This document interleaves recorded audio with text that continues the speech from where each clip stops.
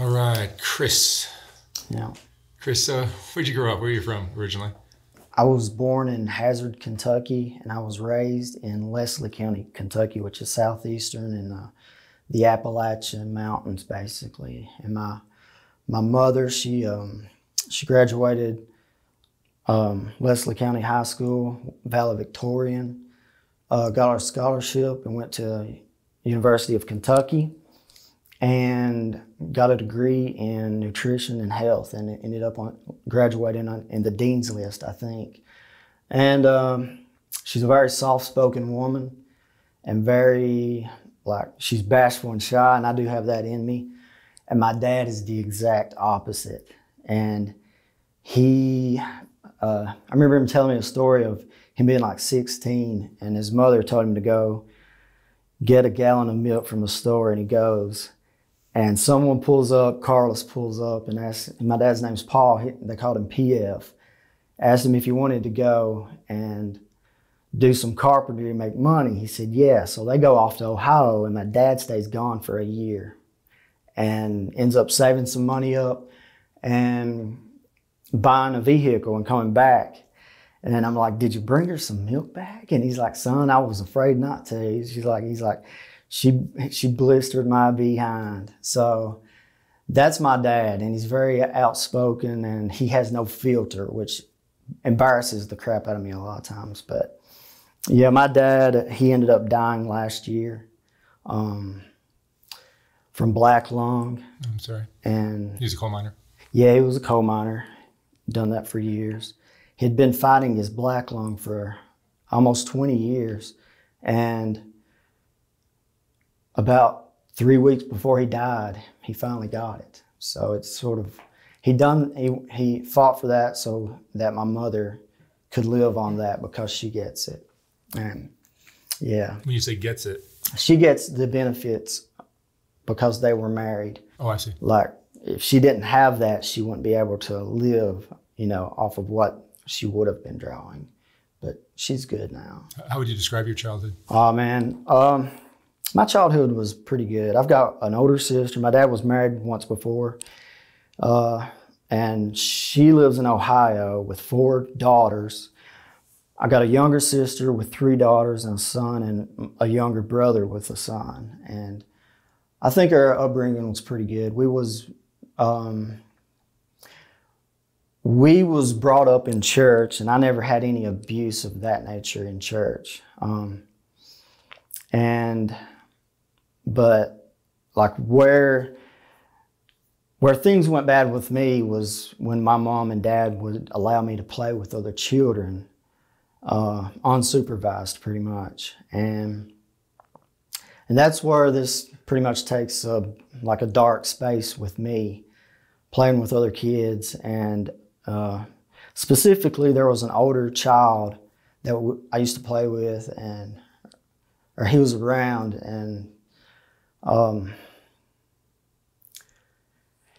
he would have us watch pornography with him and things of that nature. And I don't know if this guy was doing that to sort of train me to do things or whatever, um, but that's sort of how it ended up being. And I remember the first porno that he had us watch. And it was a black dude, a white dude with a woman. And I remember it to this day. And I remember as I was six years old when this started happening. And this would continue for a couple, maybe two or three years after this. But um, I remember the feeling I had, like my body went numb, and and I knew it was wrong. I knew it was wrong, but I was very fixated on that woman and be, and just obs- like became obsessed with her. And the only way I can describe the feeling is probably like winning the lottery and how also having someone put a gun to your head, you know. And and that started a, a gateway in my mind. Uh, that you know, it it brought a, a six year old child to become the pervert that I became. You know, throughout my 20s and early 30s, man, I was bad. Um, Uh, that that abuse did end up stopping.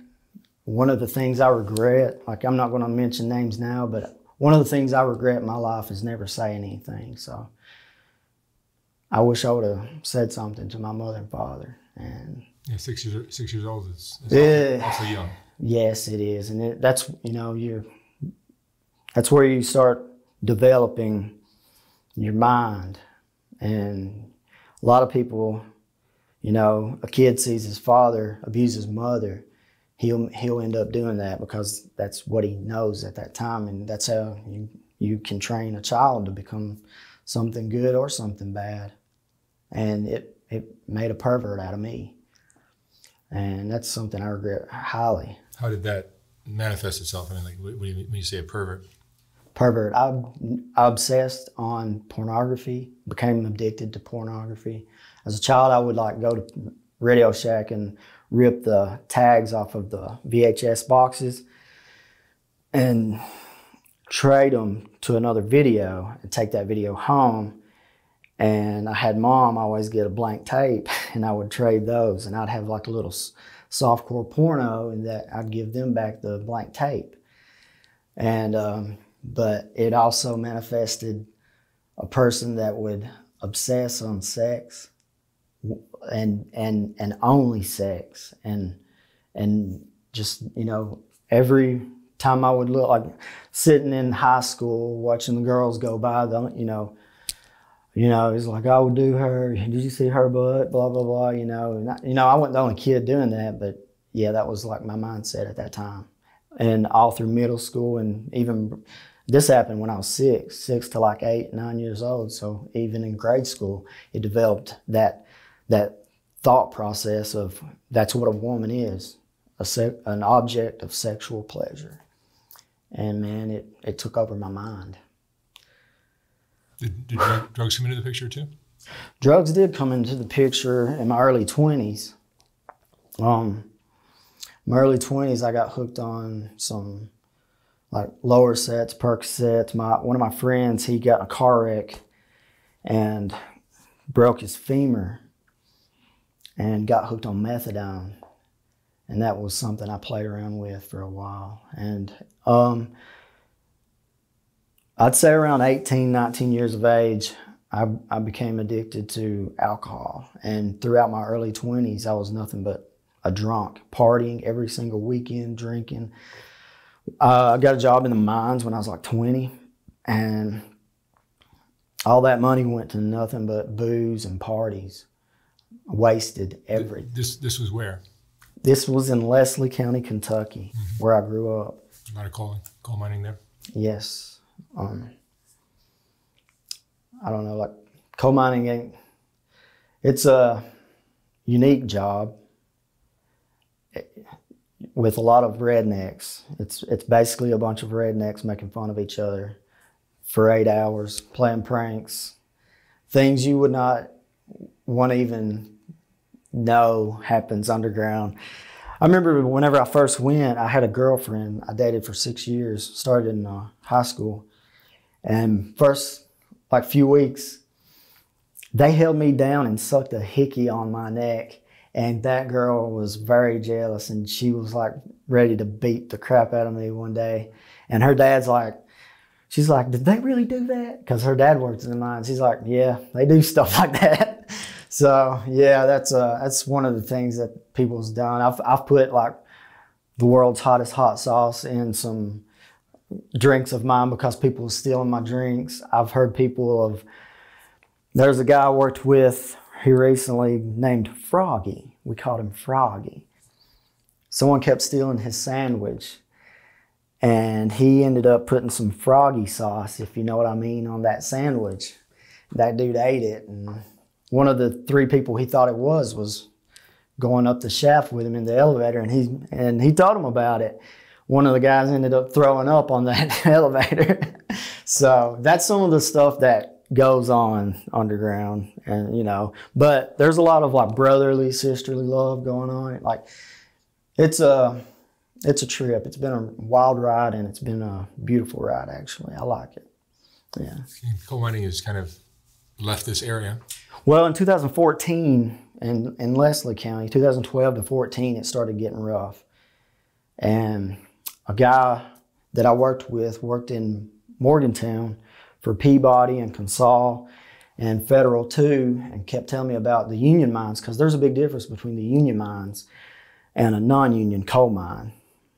A non-union coal mine is more like everybody is helping everybody. A union coal mine, you got it's the union versus them, but you're going to get way better benefits, way better pay, and bosses can't make you do you know they won't make you do things that you shouldn't do like they do in non-union but i never had a problem with non-union. But when i came up here i would have came up here straight out of high school and got a union job before i would have went to work down there because i would have next year if i would have got 20 years in i would have had a pension would have had health care i could have quit got money you know just like money each month through the pension, like the health care is like 80 20 for you and your wife. So what West Virginia treats the coal miners better? Uh yeah, in terms of in terms of benefits and retirement, that stuff. I've got a 401k I never knew I had. So when I got when I resigned like a month ago, um, I checked that and I was like, wow. so that that was a plus. But I, you know, I never fooled with that type of stuff. But yeah. You uh, you've you've lived in West Virginia and, and Kentucky most of your life.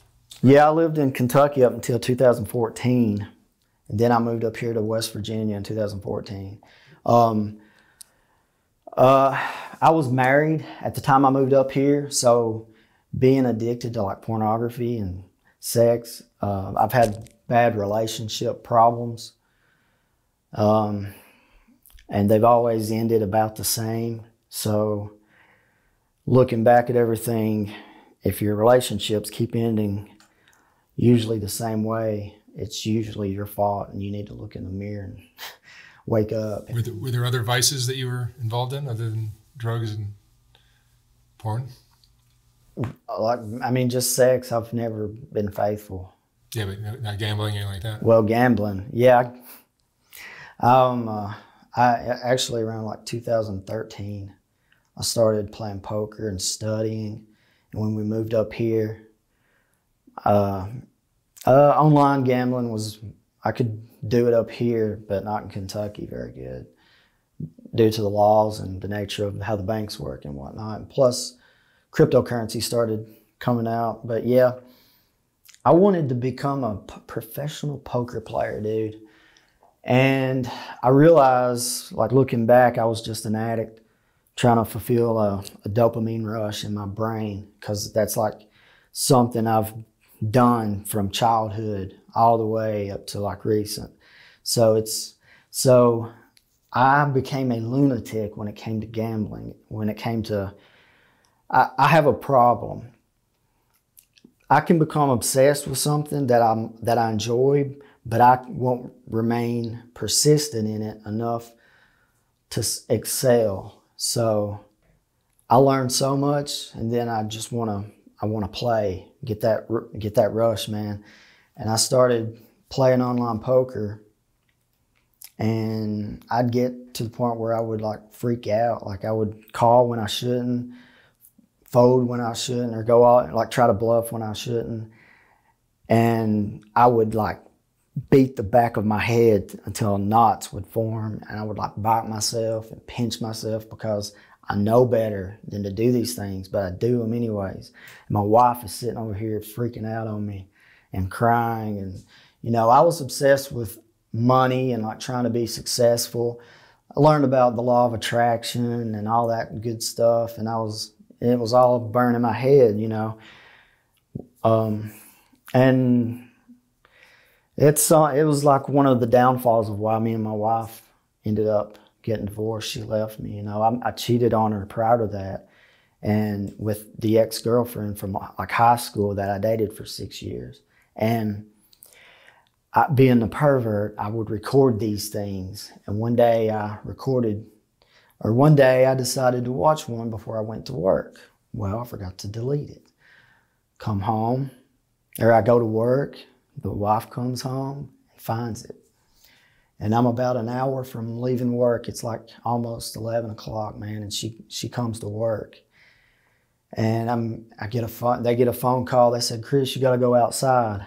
And the shift foreman comes up, he gets me. And I'm like, what's wrong? And I'm thinking, oh, it's my dad, it's my dad. And get outside, man, and she just like her face is just as red as her hair. And she's a beautiful red-headed, freckled-faced chick. You're right. And I'm like, what's wrong? And she couldn't really speak. And she just turns around and walks out. And I'm like, oh man, I know what's wrong now. So I walk out after her, and it's like a beautiful night, and the snow is just falling down slowly. And she goes up to the back of her vehicle, man, and she turns around and she said, Who is she? And I tell her who she is, and she just starts wailing on my face. And I'm thinking, You deserve more than whatever she's going to do to you. You better not hurt her. And the only thing I could do was stand there with my hands behind my back and let her beat the crap out of me, man and she busted my nose, my lip, and I still got a tooth chip from it, man. You let her do it. Yeah, I'm gonna. Yeah, I deserved every bit of it, every bit of it, and that's one of the things that I've that you know I have to learn from that. I can't. I can't let. I, I can't treat the next woman I'm with the way I treated her. I have to learn from that you know eh, because one of my biggest regrets in life is how i how bad that i must have made that woman feel I, you know my heart dropped whenever I, I knew i messed up and got caught but it's a good thing i got caught but i can't imagine how far her heart dropped whenever she seen that video. And man you know that's one of the biggest things that hurts me looking back on my life is how i treated that that woman. And and, you know, we ended up, you know, our divorce and everything went, we ended up parting somewhat on good terms. And, you know, sometimes, you know, messenger and stuff about my life, and, you know, but it's a, uh, it's, it's a wild ride. You made some mistakes. Oh yeah, I've made a bunch of mistakes in terms of that. Um, is it, is it just the the adrenaline rush that, that I don't know. I think it's the dopamine rush. Hmm. Um, I actually I actually got into skydiving for about four months, and that's one of the amazing, most amazing experiences I've ever had. But yeah, it's it's it is a huge rush. I'm addicted to anything that gives me that rush. Right now, I'm like one of my only joys in life is rock climbing. So rock climbing is something I love to do.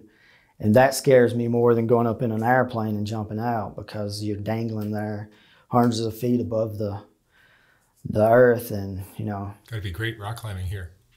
We have New River Gorge is probably the best rock climbing on the east coast. Hmm.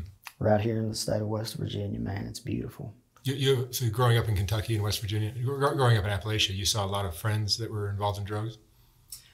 Well, if you want to go to Leslie County right now, about the only thing to do there is meth. so, yeah, like all the people I graduated with, a lot of them ended up ended up on drugs. Ended up on like back in the early 2000s, it was all about pills. Then they started, you know, going away from that. But like now, most people was on methadone, but now they've got Suboxone clinics everywhere. And those people are just going and running to the Suboxone clinic, getting their fix, you know, and and now meth has hit, and meth is like uh, it's like a it's a scary drug. It is a scary drug. And people here are smoking it. Yeah, most mostly they're smoking it, and um, it's something. If you do, you're going to stay up days upon days, man. And it's uh it's a lot of people end up like it's a constrictant, just like cocaine is. My drug is cocaine, but meth is like it, they're both constrictants, but so when you do them, a lot of the times men can't, you know, get an erection. But being me being addicted to porn and sex, the only thing I can think about when I'm doing these drugs is porn or sex. And it's a lot of people, that's the only thing that they end up doing for days is like watching porn or trying to have sex. And uh, yeah, it's, uh, it, it's, it, with, with meth, when you come off it, you start experiencing psychosis. And I had an experience, I didn't know that that existed. But the last time I did it was Thanksgiving of last year, 2002. And I was doing it for like four days and I came off of it. Got my sleep in, drove back home to West Virginia. Got home, the electric was out. So I laid down and I start hearing people. And two weeks before that, I got robbed. So in my mind, they're trying to rob me again.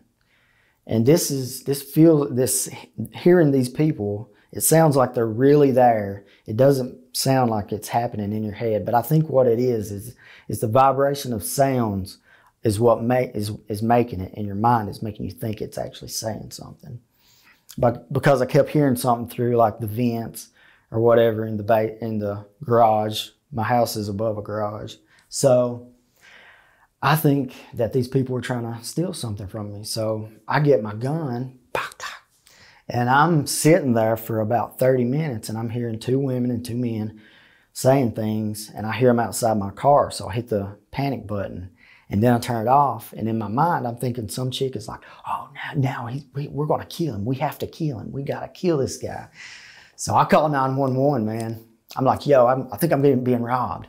Right. So basically, I'm geeking out or whatever, experiencing psychosis, an after effect of coming off of meth.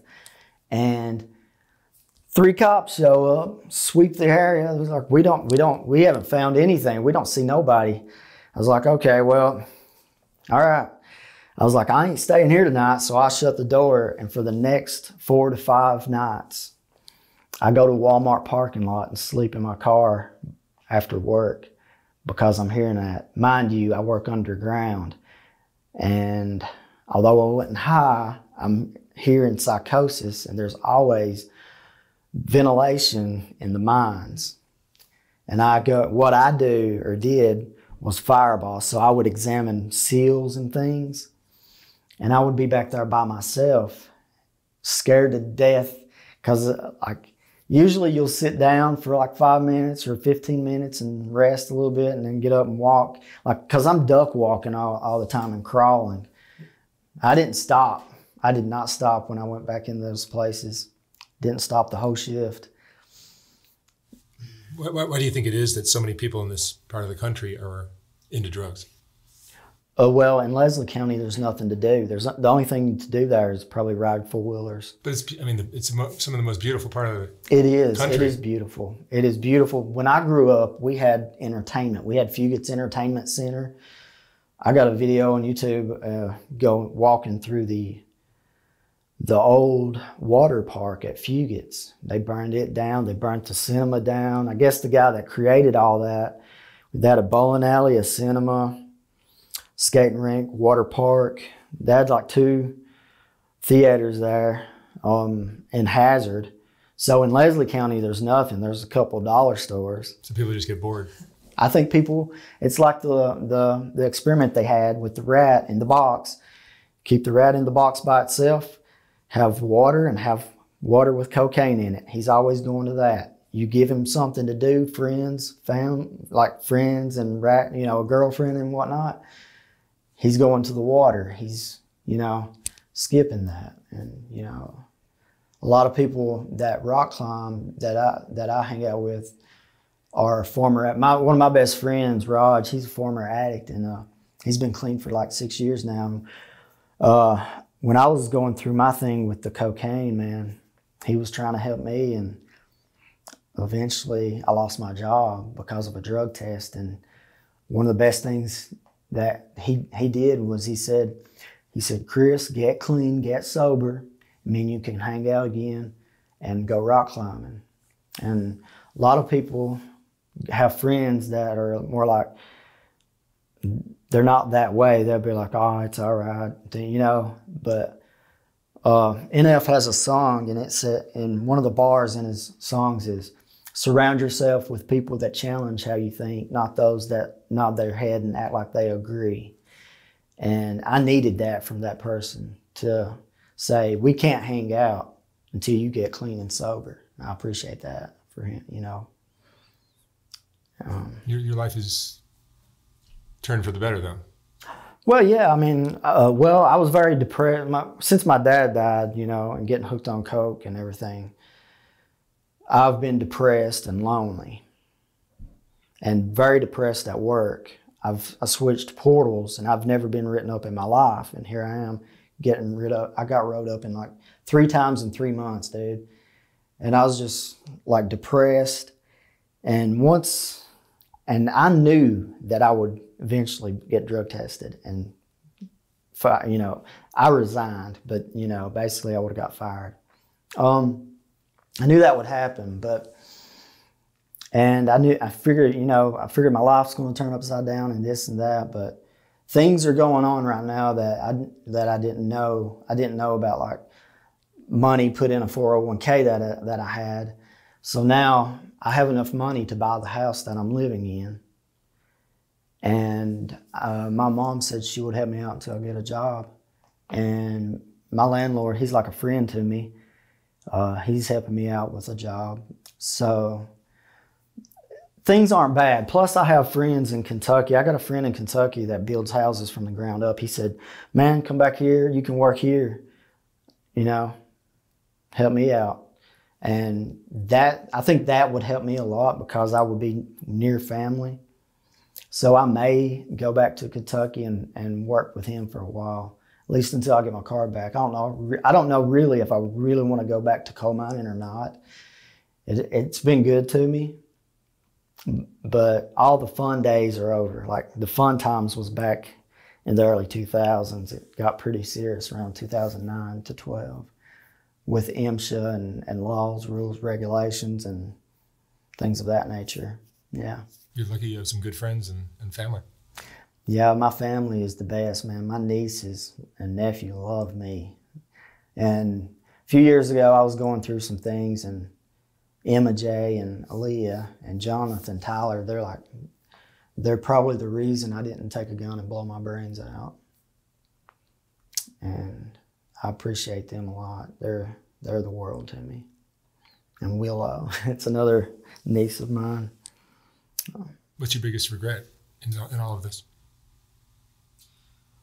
Probably not not mentioning what happened to me as a kid to my family, um, and the way I treated my ex-wife. Really, um, that's probably the biggest regrets. Not not trying, not understanding addiction at an early age. I thought sex addiction was good it's natural, but it's it, it can it can hurt you, your family, and others, man. Mental, mentally, you know. And yeah, that's a it's, it's a bad thing. It's just as bad as any other addiction, really. Yeah. What would you say the biggest lesson you've learned from all of this is? Forgiveness. Um, my well, in, indirectly, a few people have helped me with forgiveness. Um, first, I, I, I believe the Bible is the Word of God. So I'm not religious. That Bible will rip religion apart. Um, Paul Lucas has a video called Religion, Being Religious and Not Being Dispensational is Dangerous. And I recommend anybody to watch that. It helped me seven, like last July I watched that and it's, it's changed my life because it's broken the religion up that you know that I might have been following and I take the book literal. Now, in terms of forgiveness and things like Joe Rogan helped me indirectly by talking about sensory deprivation tanks. I started laying in those and meditating. Helped me a lot. My old therapist, Bob Edmondson, man, he uh,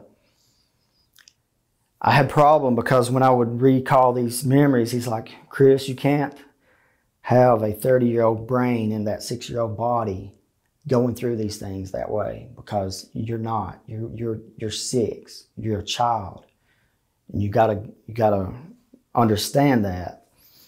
And Evan Jarvis, an, an old poker coach of mine, man, he uh, he taught me about you know you gotta learn how to forgive yourself. And he he gave he uh, showed me a exercise to do about it's a mental exercise and basically you close your eyes and the person you are now go back to the person that you hate because trust me if you've hated me i've hated myself worse. And like mid 20s early 20s chris you know i got to go back i today have to go back to him and learn to forgive him and hug him and say I, you don't understand the things you're doing you know, and forgive myself. And, you know, forgiveness is that. And I want to say this to that specific person who had, who did this abuse to me. Uh, it was multiple. I forgive you. I love you. And before you die, I hope you're found in the body of Christ. Hope I see you all in heaven. That's what I. That's what I truly want. I, you know, and if I've hurt someone mentally in some way, you know, I want forgiveness too. I apologize. Hmm. So forgiveness is probably the biggest thing. That's great. Learn to forgive. All right, Chris, thank you so much for sharing your story. Yes, sir. Thank you so much for having me. I wish you all the luck in the world now that you're You too. Thanks, man. Thanks.